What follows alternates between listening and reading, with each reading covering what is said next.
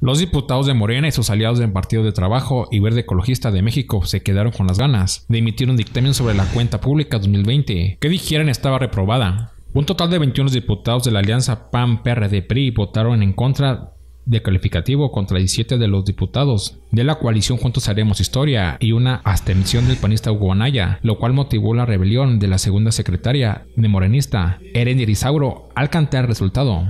La presidenta de la mesa directiva, Adriana Hernández, le llamó en tres ocasiones a dar el resultado de la votación, hasta que Isauro pidió rectificación de la votación, la cual se hizo sin que se detectara en error alguno en el resultado, que se negó a dar hasta que se hizo la rectificación. Con imágenes de Alejandro Hernández, información de Rebeca Hernández, Cuadratina al aire.